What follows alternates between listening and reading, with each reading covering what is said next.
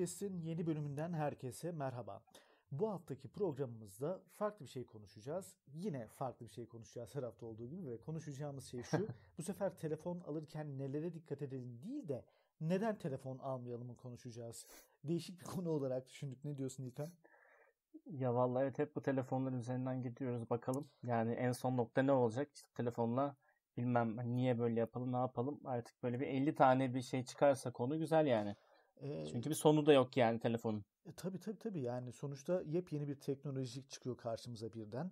Bakıyorsun hadi onu Hı-hı. bir alayım diyorsun. Ondan sonra bir bakıyorsun aa yenisi çıkmış ee, veya iPhone aldım diyelim. iPhone seneye yenisi geliyor. Birden bir hevesle bir daha almak istiyorsun. Bir daha bir şeyler yapıyorsun. Ee, biraz aslında neden telefon almayalım mı konuşacağız bugün de. Ee, tabii bir hani hep önemli gelişmelerden birisi gibi görünen bir konu var. Onu konuşarak ben başlayalım istiyorum. e, çünkü evet. e, bizim de bundan sonraki konuşmamızı şekillendirecek bir şey belki de. e, Google'a bir ceza e, konusu var ve Google e, Türkiye'de bundan sonra çıkacak cihazlarda ürünlerini kullanılmasına izin veremeyecek. Yani daha doğrusu ürünleri yer almayacak bu rekabet kurumunun bir kararı doğrultusunda hı hı. Android iş ortaklarıyla yaptığı anlaşmalarda değişiklikler vardı. Bundan sonra Türkiye'de yeni çıkacak Android telefon modelleriyle ilgili anlaşma yapamayacaklar. Yani bu ne demek aslında? Mesela gittin bir telefon aldın Android olan. içinde YouTube, ol, YouTube olmayabilir. Google'ın ürünleri hı hı. olmayabilir. Gmail'i kullanamayabilirsin. Tabi APK indirir kullanırsın da o ayrı bir mevzu ama e, ortada bir kriz var şu anda. Yani e, tam olarak anladığım kadarıyla hani varsayılan olarak gelmeyecek telefon içinde. Hı hı. Google Search dahil ama tabii sen yine dışarıdan indirebilirsin. Ama şu var. Gibi Google herhalde. Play Store olmayacak telefonda. Ha doğru Play Store olmayacak. Ya. Üçüncü taraf uygulamalardan evet, evet. belki. Ne yapacaksın? Ee, yani dışarıdan e, bir şekilde o uygulamanın APK Hı-hı. dosyasını indireceksin. O zaman yükleyebileceksin. Yani biraz uğraştıran bir şey. Tatsız bir gelişme evet evet. Yani şey diyesim var. Ya ben hep 10 liralık alıyorum. Bana bize koymaz falan filan böyle. Ama da öyle. yani bizim böyle hani çok e, uluslararası markayla bayağı böyle saçma tartışmalarımız oldu daha önce de. Twitter'la işte Spotify'la oldu. Küstürdük. Gittiler Türkiye ofisini kapattılar falan filan. E, yani aslında yani birine böyle bir atar yapabiliyorsan senin hani cidden böyle e, işte dünyadaki işletim sistemleriyle en azından %50'sinde dahi olsa boy ölçüşebilecek bir e, işletim sistemi yaratman lazım. Yerli ve milli tırnak içinde ama öyle bir şey de yok. Yani e, geleceği de düşünmeden böyle çok e, hani hiçbir anlaşmaya, uzlaşmaya varmadan e, yani herhalde bayağı bir damarlarına da bastık ki direkt böyle hani ardarda arda açıklamalar vesaire şunu yapacağız bunu yapacağız diye geldiler yani. Evet mevcut telefonları çok etkilemeyecek ama bundan sonrası için sıkıntı. Hı hı. Ee, ne olacak ne bitecek biz de merak ediyoruz. E, ve e, umarım kısa sürede çözülür. Yoksa Türkiye'de telefon piyasası farklı bir yere gider. Ama biz mevcut tablo üzerinden evet. biraz konuşalım. Şimdi e, kaç yıl oldu sen telefon alalı? Yani iki yıl, iki yılı geçti herhalde ya. Evet evet değil, değil mi? İki yılı geçti. Peki Tabii iki yılı e, geçti. üstüne şimdi bizde OnePlus 5 var. Alt, e, 5T çıktı. 6 çıktı. 6T Çok çıktı. çıktı 7, 7T çıktı. Tatsız. Yani bu arada Aha. tabii e, çıkan mesela, proları var tabii, bunların tabii, mesela. E, diğer markalar daha da yağmura tutuyor insanları da. E, şimdi şeyi sorayım mesela. Bugün gerçekten bir OnePlus'ın veya başka bir telefonun modelini almayı düşünüyor musun? Modelini almayı düşünüyor muyum? Ya aslında ben şu soruya cevap veremiyorum kendimce. Mesela bu birazcık da hayat tarzıyla alakalı mı değil mi bilmiyorum. Mesela hani ben hayatımı bir şekilde minimalize etmeye çalışıyorum. Sadece maddi değil işte kullandığım cihazlardan giydiğim şeylere kadar. Ama mesela hani ekstra bir işte 10 bin liram olsa mesela hiç kullanmadığım hesapta gidip de işte en son çıkan OnePlus'ı alır mıyım? Bunun cevabını aslında kendime veremiyorum. Yani şimdi baktığında benim bir telefondan beklentilerim de yani iyi bir fotoğraf, iyi bir video, işte e, donmasın, çökmesin, kasılmasın, istediğim her şeyi rahatça yapabileyim, uygulamalarımı, oyunlarımı oynayabileyim vesaire. E, e, bunların hepsini görüyor OnePlus 5. Ve hani bunun e, üstünde evet 6 tane model var ama benim bütün işimi görüyor ve e, OnePlus da bunu destekliyor.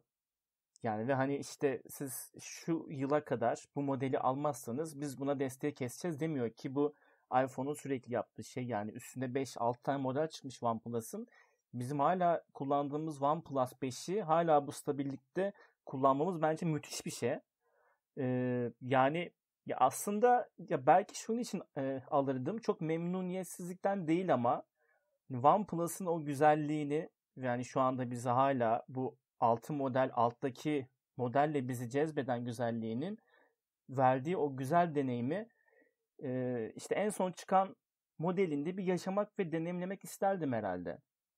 Ama hani e, yeni böyle çok büyük ve beni çok zora sokacak bir borçlanma yapmazdım. Çünkü o kadar ihtiyacım yok yani.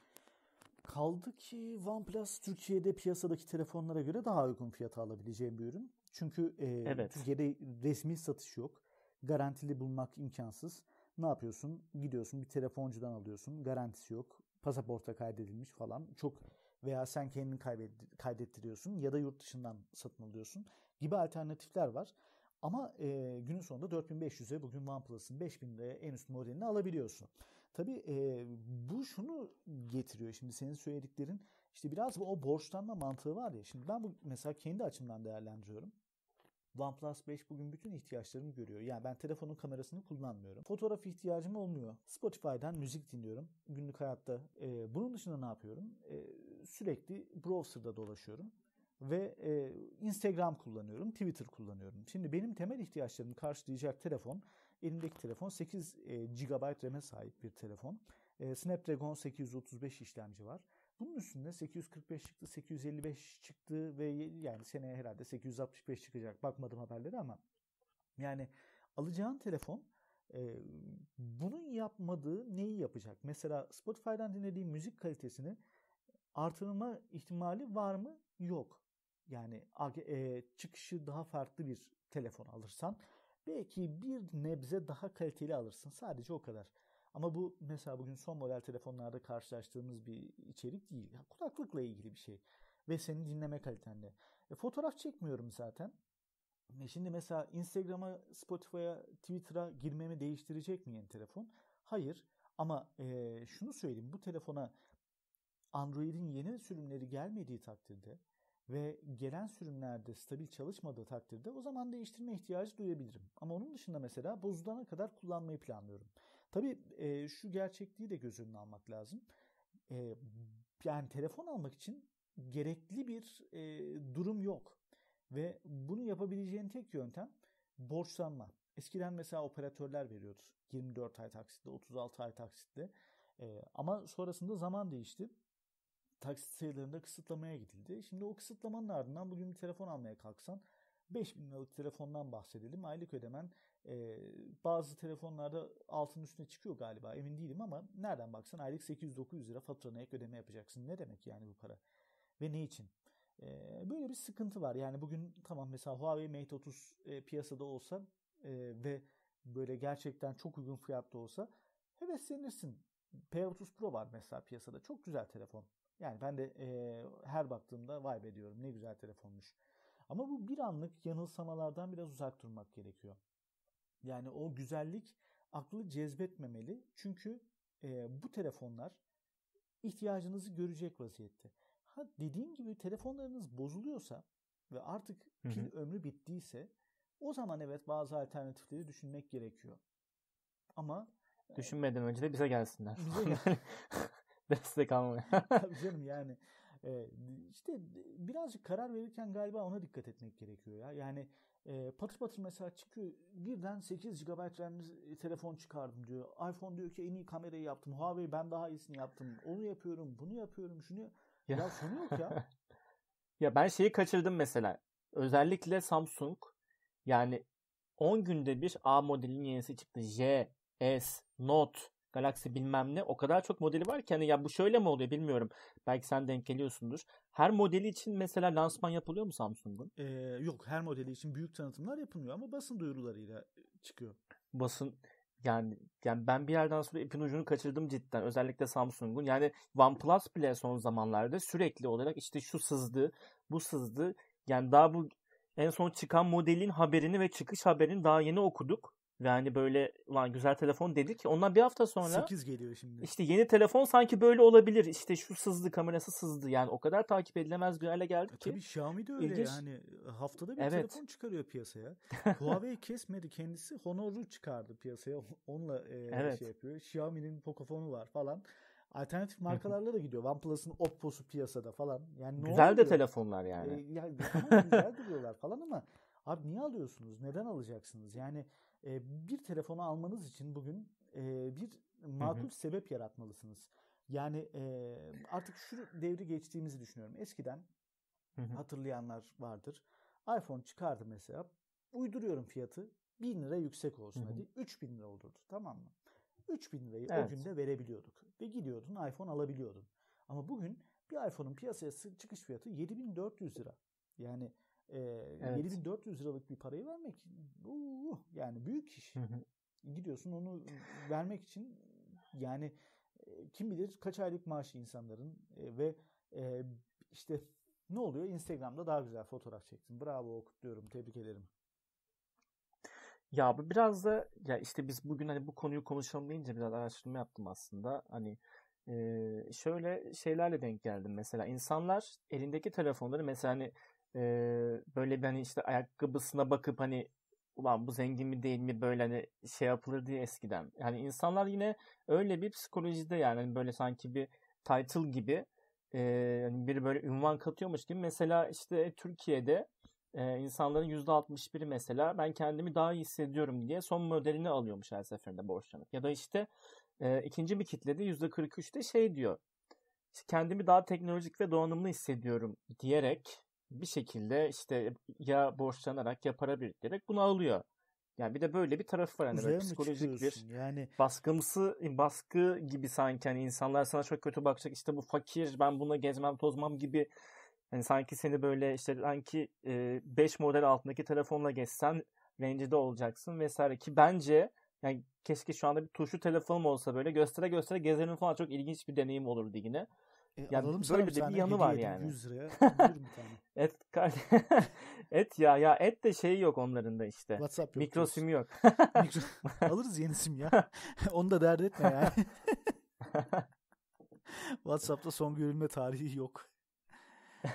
Yani abarttık ya bu teknolojideki e, bizim açgözlü halimizi.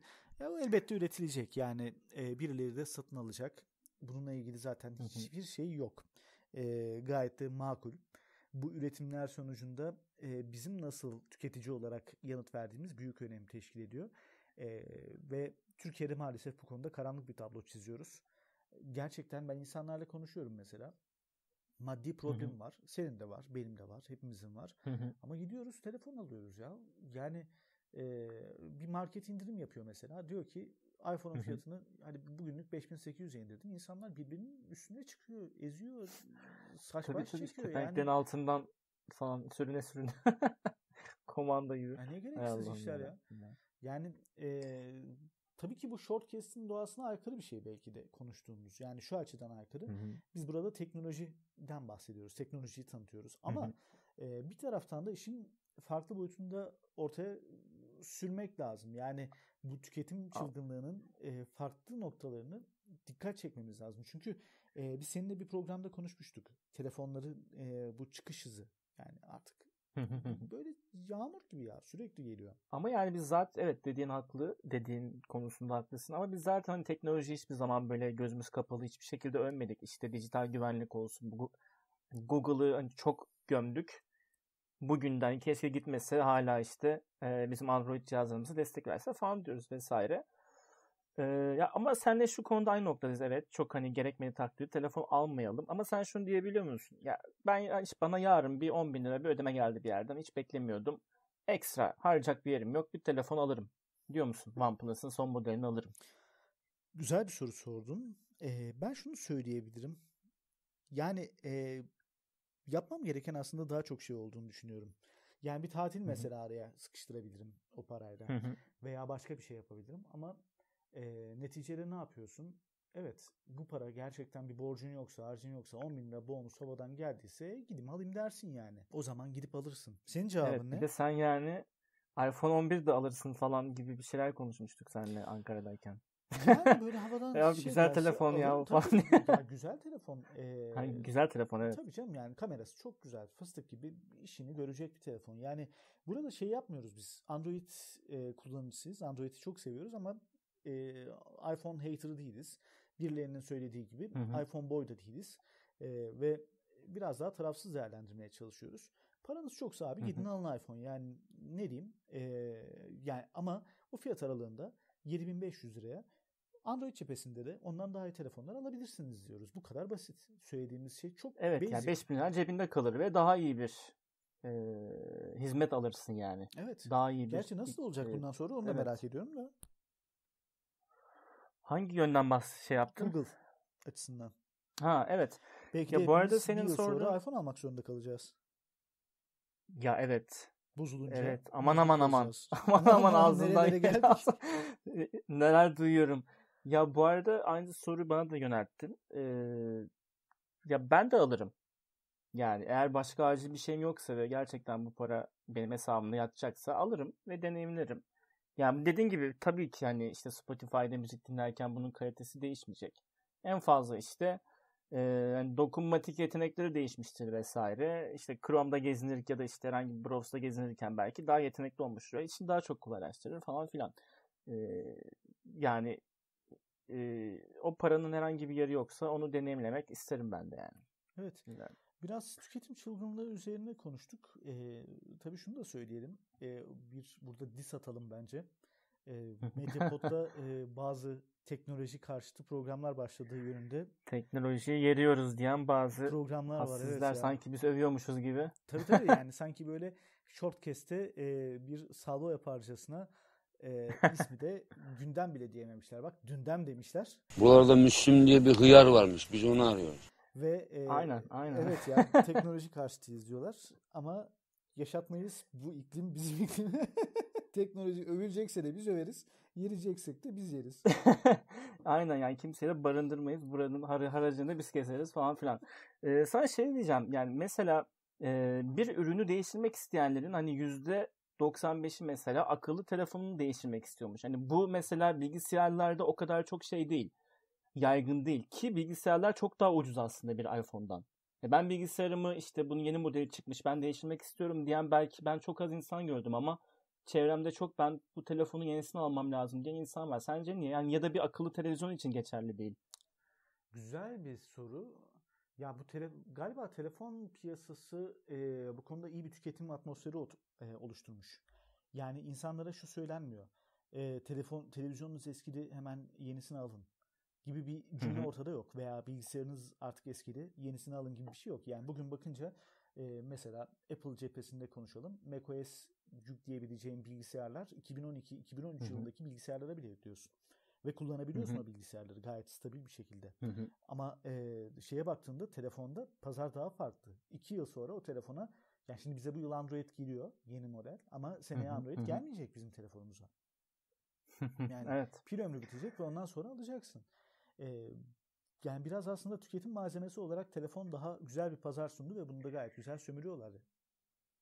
Ya belki de kitleye göredir. Hani bizim çevre mesela benim çevremde çok gamer yok, oyuncu yok. Belki de hani onlar da bizim gibi telefonları takip edip son modeli belki de değiştiriyorlardır hemen. Evet evet. Yani Yani bilemiyorum bu arada. Yani o laglar Hı falan hı. bile acayip derecede onları Tabii, tabii.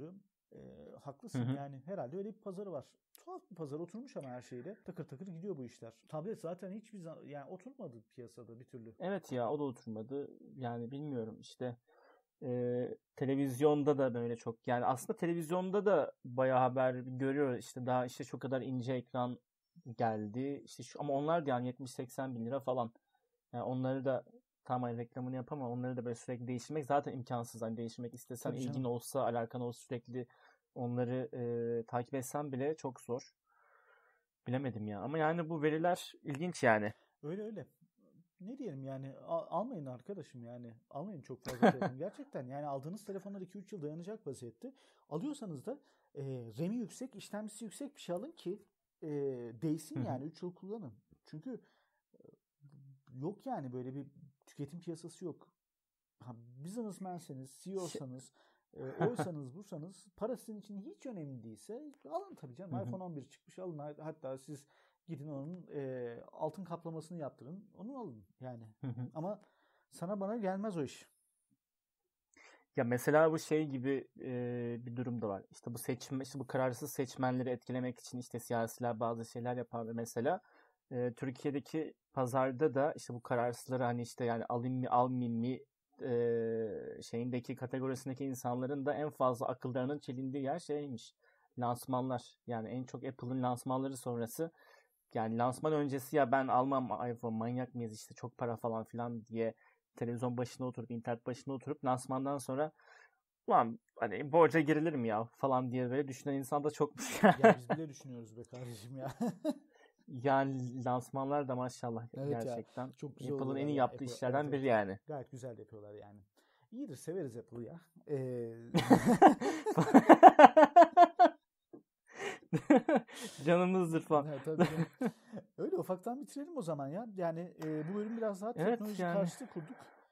Tek- telefon neden almayın onu anlatmaya çalıştık. Piyasa hı. çok hızlı. Anlamı yok. Bu kadar para harcamaya gerek yok. Boş verin. Yani. O zaman ne diyoruz abi? E, teknolojiyi övmüyoruz, yeriyoruz falan işte böyle. Teknoloji övmedik, geldik. E, birilerine de buradan selam yollayalım. evet ya. E, günde bir dinleyin ama hadsizlere. gerçekten e, Oğuz'la Orhan e, çok tatlı program yapıyorlar. Evet, gerçekten. E, reklama giriyor mu bu şimdi? Biz yayında mıyız şu an? Evet. Marka adı söyledim ama dünden değil. evet yani dünden cidden iyi bir e, hani dijital dünyaya dair. Tabii daha çok bizim gibi gündelikten ziyade hani teorik olarak da Orhan gerçekten çok şey katıyor. Oğuz da güzel şeyler soruyor. E, Hayırlısı. Orhan'ı terletiyor diyelim. Hayırlısı olsun diyelim. Hayırlısı olsun diyelim. Evet o zaman ufaktan bitirelim. Evet. Shortcast'i Spotify'dan, e, Spreaker'dan, Google Podcast'ten ve dinleyebildiğiniz her yerden dinleyebilirsiniz. E, üye olun, Hı hı. takip edin, Patreon'dan bize destek olun. Böylece noktalayalım. Bir sonraki Shortcast'te yeniden karşınızda olmak dileğiyle. Hoşçakalın. Hoşçakalın. Medyapod'un podcastlerine Spotify, Google Podcast, iTunes ve Spreaker üzerinden ulaşabilirsiniz. Medyapod'u desteklemek için patreon.com slash medyapod.